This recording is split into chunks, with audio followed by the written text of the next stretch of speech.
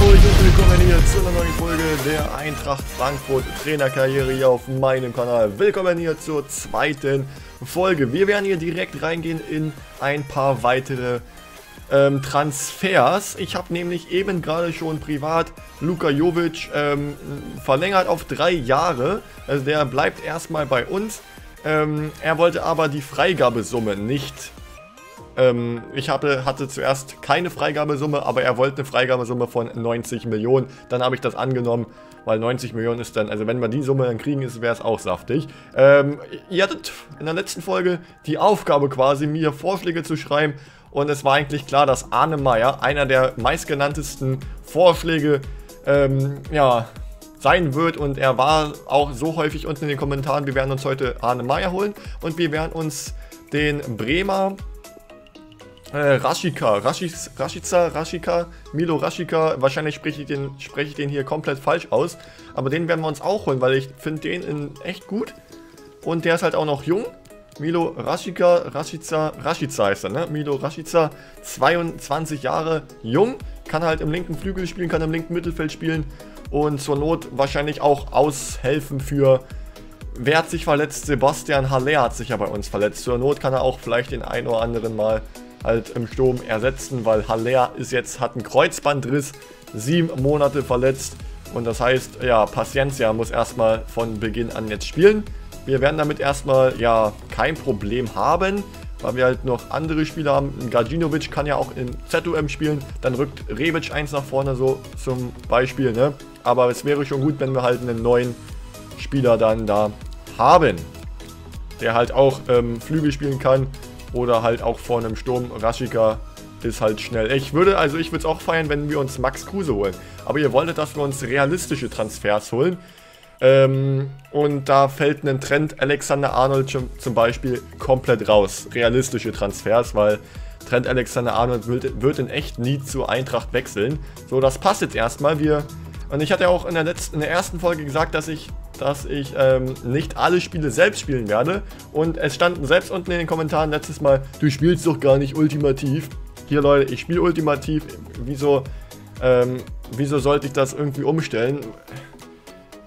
Verstehe ich halt überhaupt nicht. Verstehe ich halt überhaupt nicht. So, let's go. Ähm, erstes Bundesligaspiel werden wir simulieren, weil das Spiel ist gegen Freiburg und ja, deswegen simuliere ich das Transferangebot für Marco Russ. Das werde ich ablehnen. Ich darf ja hier auch nicht alle verkaufen, die hier ein Angebot bekommen. Ach, ich habe jetzt hier, ich habe die ja nur auf die Dings gemacht, ne? Ich muss ja noch ein Angebot machen. Transferzentrale, da muss ich ja rein, du. Es tut mir leid, wenn ich hier ab und zu mal ein paar Fehler vorkomme. Ich habe, wie gesagt, das letzte Mal FIFA noch 2018 gespielt. Hier, Rassika. Hier, kann sogar im Sturm spielen. Ich kann sogar im Sturm spielen, deswegen ist es perfekt. Da der Verein den Spieler kürzlich gekauft hat, ist er nicht bereit, über einen Weggang zu verhandeln. Okay, dann müssen wir uns was anderes überlegen. Arne Meyer? Okay, Arne Meyer ist bereit zu verhandeln, das ist sehr, sehr gut. Äh, Moiskin fand ich auch noch interessant. Aber Moiskin würde ich eher als nicht so realistischen Transfer einordnen. Aber Moiskin gucken wir uns gleich mal an, weil Moiskin, geiler Typ, von Juventus hier Transfersumme anbieten. Ja, keine Ahnung, wie viel könnte ich denn für einen Arne Meyer bieten? 10 Millionen? Ist das zu viel? Ich sag, ich will nicht zu wenig bieten, weil dann lehnt er ab und dann ist er komplett weg. Ich weiß es nicht. Komm, ich mache 8 Millionen. Ah, nein! Kann ich nochmal? Nein, Arne Meyer. Ah, ist das belastend. Ey, Mann, wieso steht denn auch kein Preis da? Was ist das denn für ein Rotz? Jetzt, jetzt habe ich beide Spieler. Beide Spieler, die ich heute haben wollte. Bekomme ich jetzt nicht. So, ich habe mir jetzt nochmal ein paar rausgesucht. Äh, nämlich äh, einen Marco Richter, Eggestein und einen Davy Selke. Und hier steht überall wieder kein Preis da, glaube ich, ne? Doch, 14 Millionen Marktwert. Also wenn Davy Selke einen Marktwert von 14 Millionen hat, wieso rastet denn Hertha bei Arne Meyer mit 9 Millionen aus? Sie hätten ja sagen können, dass, der, dass sie 25 Millionen haben wollen. Dann hätte ich wahrscheinlich auch Ja gesagt. Aber ich wusste halt nicht, wie viel Arne Meyer wert ist. Eggestein haben wir da einen Preis 19,5 für Eggestein und Marco Richter haben wir gar keinen ähm, Wert. Ja, also ich würde sagen, also Eggestein, den können wir halt offensiv wie defensiv spielen lassen. Deswegen würde ich sagen, Davy Selke für einen Ersatzstürmer und halt Maxi Eggestein so nochmal im Mittelfeld einen anderen und einen neuen. Finde ich beide eigentlich sehr interessant. Deswegen Hertha BSC hier, Davy Selke. Und Davy Selke ist auch mehr, er ist, ist finde ich, also realistischer als ein Alexander Arnold, sagen wir es einfach mal so. So, legen wir gleich los. Ja, der, zack, zack. Äh, Transfersumme anbieten. Also wenn der einen Marktwert von 14 Millionen hat, dann biete ich einfach mal 20 Millionen. Komm, das sind 6 Millionen mehr. Wenn der jetzt ausrastet, ne? Wenn der jetzt ausrastet, dann raste ich hier mal aus. Das ist ein faires Angebot, jawohl. Perfekt, Mann. Perfekt. Hätte ich wahrscheinlich auch wieder 2, 3 Millionen, ähm, ja, weniger bieten können und hätte trotzdem den Deal hier schaffen können. Äh, ist auf jeden Fall ein wichtiger Spieler. Guck mal, da sitzt Davy Selke, aber so realistisch sieht jetzt Davy Selke nicht aus. ja, komm, vier Jahre. Ich werde das so machen, dass ich hier heute zwei Spiele simulieren werde. Das Spiel gegen Freiburg simulieren wir, das Spiel gegen Bremen simulieren wir und das dritte Bundesligaspiel gegen den BVB werde ich dann spielen. Also, dass wir auch ein bisschen vorankommen in der Karriere, werde ich halt nicht in einer Folge ein Spiel machen, sondern werde auch halt Spiele simulieren, so wie ich es euch mitgeteilt hatte in der ersten Folge. Let's go. Nochmal kurz die Aufstellung checken und ist mittlerweile ja, da sind die beiden. Davy Selke ist mit am Start. Ersatzstürmer kommt natürlich auf die Bank für einen Abraham, weil wir haben Endicke als Ersatzinnenverteidiger. Eggestein kriegt auch einen Platz für De Guzman und Eggestein kriegt sogar einen Stamm oder ähm, ja, Platz in der Startaufstellung. Paciencia bleibt erstmal von Beginn an. Davy Selke wird ähm, Einwechselspieler jetzt erstmal, weil wir haben ja auch noch einen Haller, aber da er einen Kreuzbandriss hat, weiß man nie, wie er wieder reinkommt denn und weiß, es dauert halt noch Ewigkeiten, bis der da wieder da ist. Erstes Bundesligaspiel, bin ich gespannt, wie wir hier ähm, das Spiel bestreiten werden. Let's go. Auswärtsspiel und Gulde verletzt sich von Freiburg in der zweiten Minute, das ist bitter. Das ist bitter, das ist bitter, das ist bitter. Gleich Halbzeit. Passiert, es passiert nichts. Rode. Sebastian Rode. Ja, Wolski. Rebic kommt, ne, ähm, Gacinovic kommt rein. Selke kommt rein. Hinteregger gelb. 1-0 wäre ich mit zufrieden. Bradley macht das 1-1. Bradley, dieser Frechdachs, macht das 1 zu 1. Oh shit, Mann. Wir spielen das erste Bundesligaspiel unentschieden. Aber da kann man ja nichts machen, ist halt so. Äh, Trainingseinheiten sind wichtig. Zack, zack. Äh, kann, kann, ich jetzt eigentlich die Spieler aktualisieren, wenn ich ähm, hier Eggestein habe und Selke? Dann kann ich ja die noch ein bisschen trainieren. Hm. Aber sonst läuft ja erstmal alles. Mehr werde ich auf dem Transfermarkt nicht zuschlagen, weil ich bin ja mit allem zufrieden, was ich jetzt habe. Deswegen bleibt das jetzt erstmal so. Und das, ah, das dauert immer Ewigkeiten hier. Marco Reus ist einfach für 94 Millionen zum FC Barcelona gewechselt hier in den letzten Stunden der, des Transfersfensters. Nächstes Spiel, zweites Bundesligaspiel gegen Werder Bremen, Heimspiel. Ich hoffe, dass wir jetzt hier dieses Spiel gewinnen werden. Das simuliere ich auch. Dann gibt es noch das Spiel gegen Dortmund, welches ich selbst steuern werde. Let's go. Helanda hat auf jeden Fall schon mal direkt in der zweiten Minute Geld bekommen. Kevin Trapp hat sich verletzt. Wieso wird denn der nicht ausgewechselt? Selke kommt rein. Alter Falter. Kommt, Jungs. Pusht euch. Pusht euch. Wir spielen wieder unentschieden. Wir spielen wieder unentschieden. Und Kevin Trapp. Was ist mit Kevin Trapp? Ich hoffe, da ist jetzt nichts. Spieler verletzt. Er wird für acht Wochen ausfallen. Oh mein Gott, ey, das kann ja nicht wahr. Wieso wird er nicht ausgewechselt? Ich bitte euch, was ist da los bei euch? Renault, hier, zack. Ein Glück habe ich den nicht irgendwie verkauft oder so. Dann habe ich noch Stiel. Also wenn sich jetzt Renault verletzt, ne? Dann habe ich nur noch Stiel, Stiel als Keeper. Oh mein Gott, Mann. Das ist jetzt natürlich richtig, richtig bitter gelaufen. Hui. Oh, wenn wir uns hier die Tabelle angucken, die Dortmunder nach zwei Spielen ein Punkt.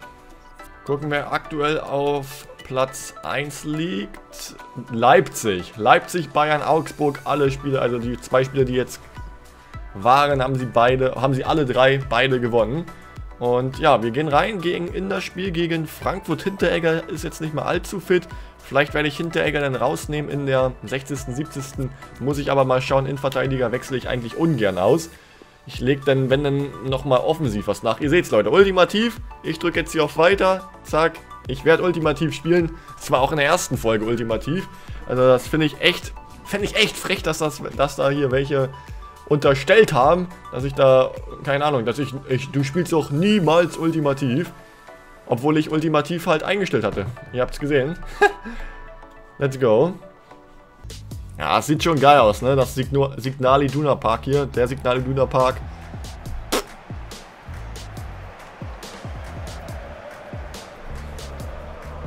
Da kommen Wochenendserinnerungen hoch, Leute. Da kommen Wochenendserinnerungen hoch, wenn ich schön auf der Couch liege und Bundesliga glotze. Glotzi Mozzi, let's go!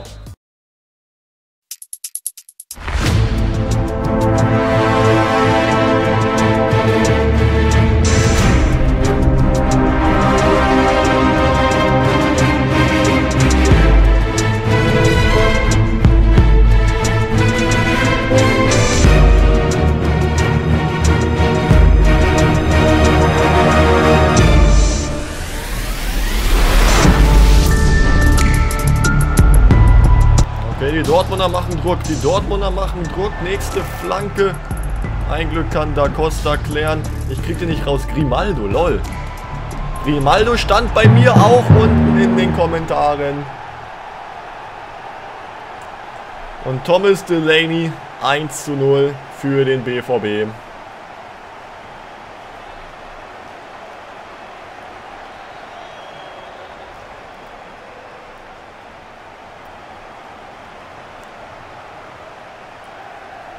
Einmal hier nicht aufgepasst, zack, gleich ausgenutzt. Eieieiei.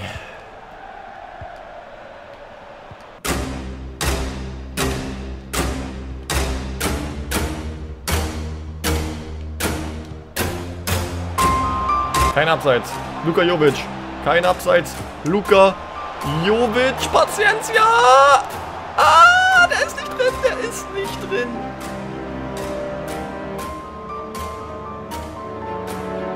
Ja, da kriegt er natürlich Druck von außen noch, aber den kann man schon mal machen.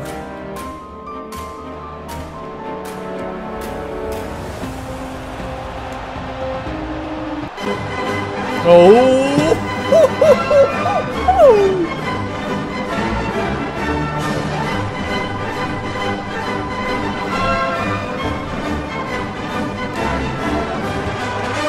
Was war das für ein geiler Lupfer, Mann? Schön mit der Hacke, zack, Paciencia. Die Chance, die er eben hätte machen müssen, macht er damit überragend, Alter. Heftiges Tor, schöner Lupfer von ihm, Paciencia. Ich hatte überlegt, zu rauszunehmen. Also jetzt nicht in der 30. Minute, aber halt in der 60. oder so. Aber jetzt mit dem Tor, vielleicht nehme ich dann doch eher Jovic raus. Weil Davy Selke würde ich doch schon mal gerne einwechseln. So in der 6, 60., 70.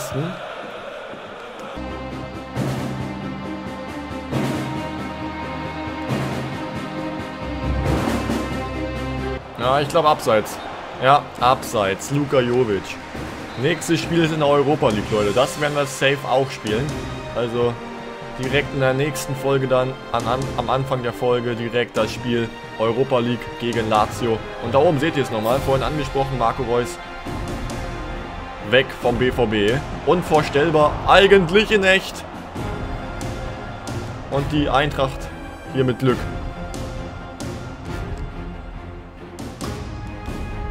Schön. Auf Ante Rebic. Kein Abseits. 62. Ich gehe ins Start im Pausemenü. Und jetzt kommt erstmal... Ja komm, wir nehmen mal Jovic raus, obwohl Jovic natürlich der Stärkere ist.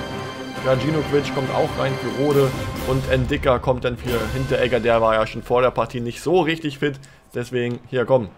Der magische Dreierwechsel hier.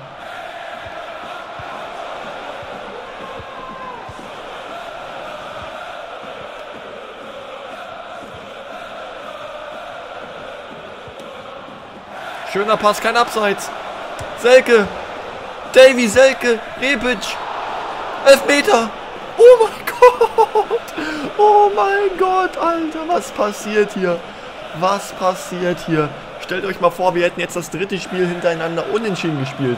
Drei Bundesligaspiele, dreimal unentschieden. Aber wir kriegen einen Elfmeter, oder? Jawohl, wir kriegen einen Elfmeter. Ja, ja, ihr müsst mir das nicht erklären hier. Schießt Paciencia. Oh, wer soll schießen? Eggestein, der junge Eggestein, der erfahrene... Äh, Rebic schießt, Leute. Ante Rebic, let's go. Kann ich den Ziel ausmachen? Na, ich weiß nicht, Leute, ich kann eigentlich keinen Elfmeter. Ich kann eigentlich keinen Elfmeter. Aber Ante Rebic macht das Ding. Und wir führen 1 zu 2.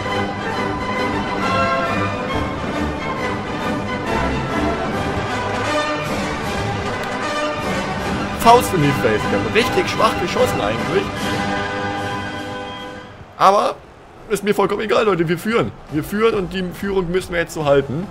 Das sind dann schöne, geile drei Punkte gegen Borussia Dortmund. Jawohl, wir können noch mal eins oben drauf packen. Wenn wir das jetzt klug ausspielen. Klug. Wenn wir das klug ausspielen.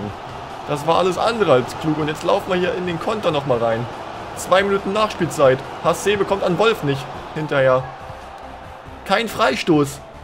Alter, der Schiedsrichter ist hier absolut auf unserer Seite. Erst schenkt er uns den Elfmeter und wir gewinnen das Spiel. Richtig geil, Mann. Schöne drei Punkte gegen die schwarz-gelben Borussen. Genau so muss es sein. Genauso macht Spaß. Das war ein ausgeglichenes Spiel, habt ihr gesehen. Gleich viele Torchancen hatten wir. Auf jeden Fall sehen wir uns dann in der nächsten Folge. Und natürlich heute Abend um 20 Uhr gibt es auch noch eine schöne Folge von FIFA Mobile. Alter, das Euroleague-Design ist am Start hier. Sehr, sehr geil. Freue ich mich drauf in der nächsten Folge. Dann gegen Lazio Rom, Leute. Ich bin jetzt hier raus. Lasst ein Däumchen da, lasst ein Abo da. Haut rein und tschüssi.